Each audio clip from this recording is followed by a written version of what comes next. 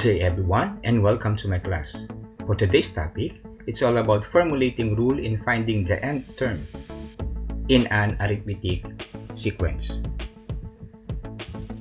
Observe this number sequence. If you notice, there is a constant difference of 2 between the terms. This number sequence is an example of arithmetic sequence. Arithmetic sequence is a set of numbers such that the difference between the consecutive terms is constant. Each number in the sequence is called term.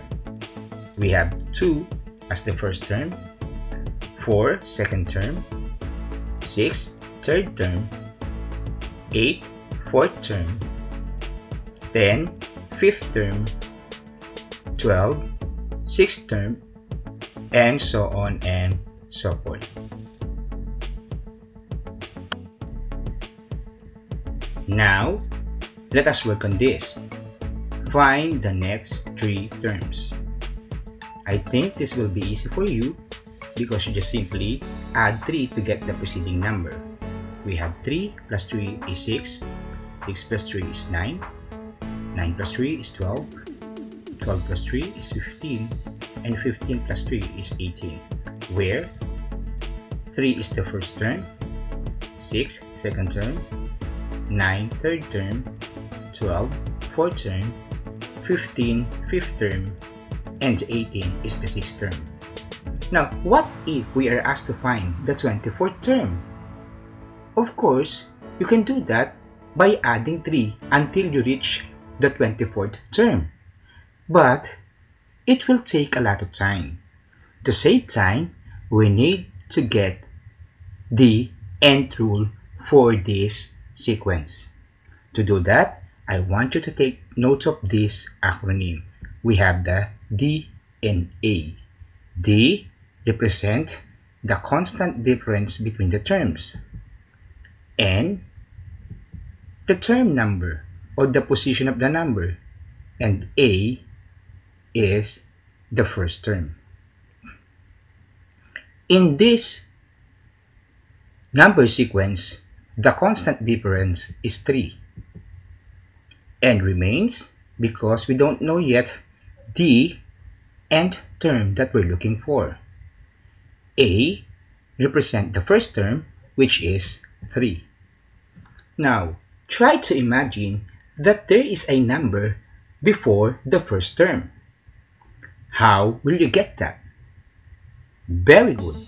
By simply subtracting the first term by the constant difference of the terms. We have 3 minus 3 is equals to 0. Using this idea, we can now have this formula. D, the difference, times the nth term, plus A, the first term, minus D, the difference between the term. Using this, we can now create or formulate the nth rule for this sequence. To do that, just simply give the value of each variable. We have D, the difference between the term is 3. N remains because we don't know yet the term or the nth term that we're looking for. We have a, the first term, which is 3, minus 3, which is the constant difference between the term. Now, let us solve.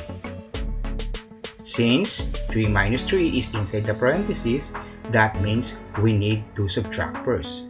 We have 3 minus 3 is equals to 0 then plus 3n. Therefore, the nth rule for this number sequence is 3n plus 0 and we can simplify this as 3n. That will be now the nth rule for this number sequence 3n.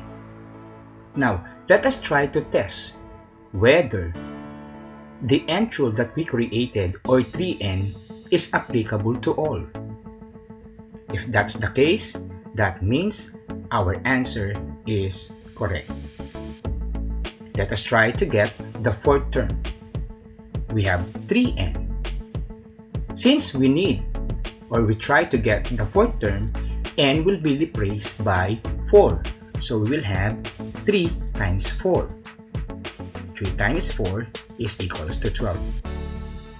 Correct. Let's go now for the fifth term.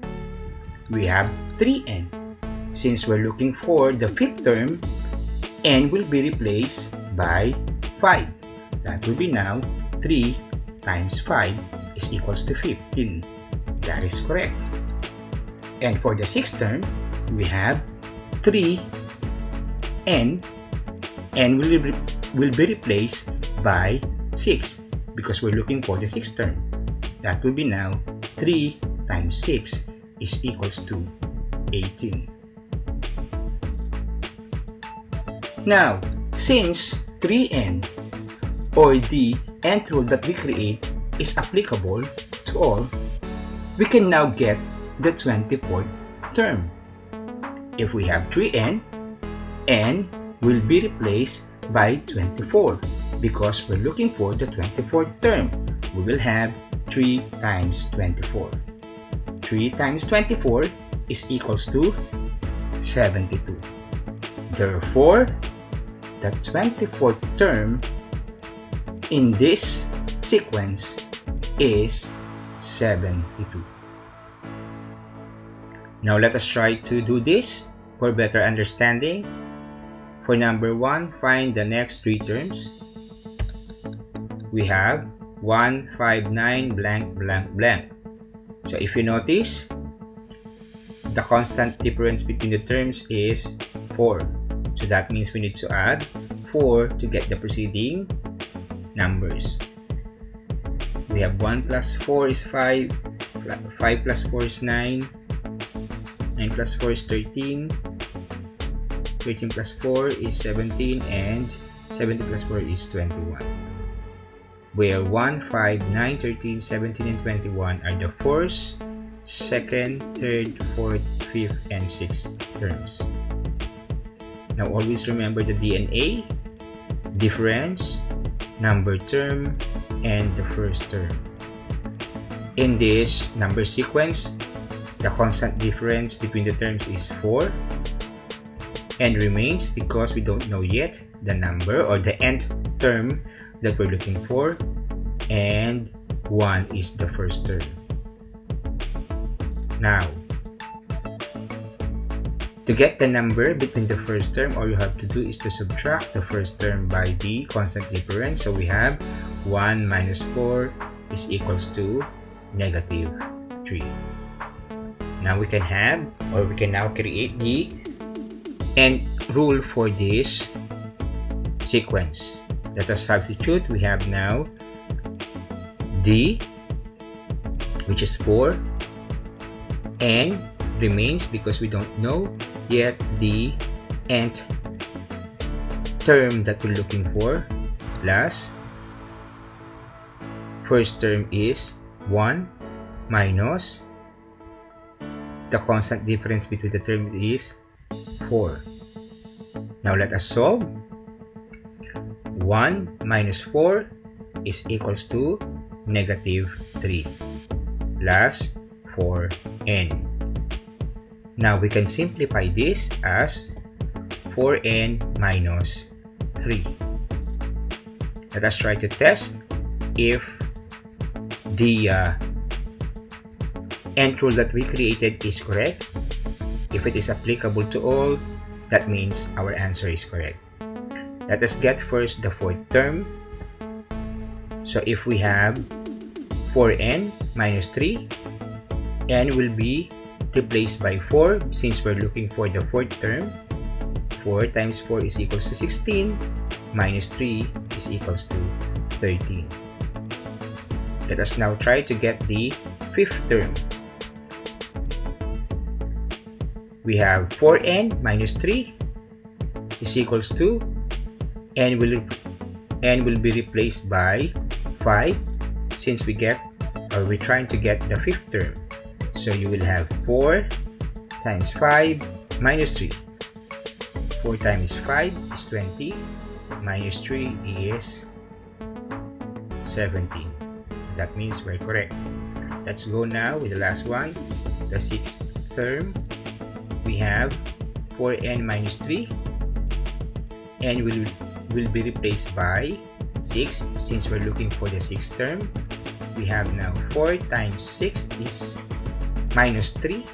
We have 4 times 6 is 24 minus 3 is 21. Again, we're correct. That means 4n minus 3 is the nth rule for this sequence.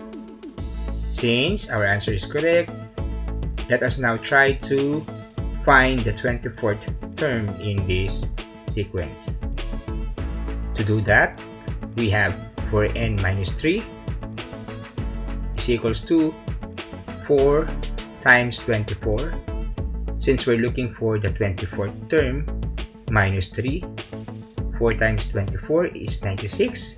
Minus 3 is 93. Therefore, the 24th term in this series is 93. I hope everything is clear to you. Goodbye until next time.